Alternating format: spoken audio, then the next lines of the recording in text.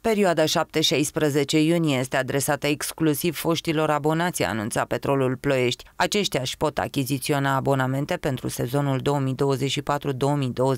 de la Casa de Bilete a stadionului conform următorului program. De luni până vineri între orele 12-20, iar sâmbătă și duminică între orele 10 și 18. Cei care au avut abonament în sezonul 2023-2024 au o reducere de 15% din prețul abonamentelor și opțiunea de a-și păstra locul preferat pe stadion. La procurarea unui abonament nou este necesară și prezentarea abonamentului din sezonul 2023-2024.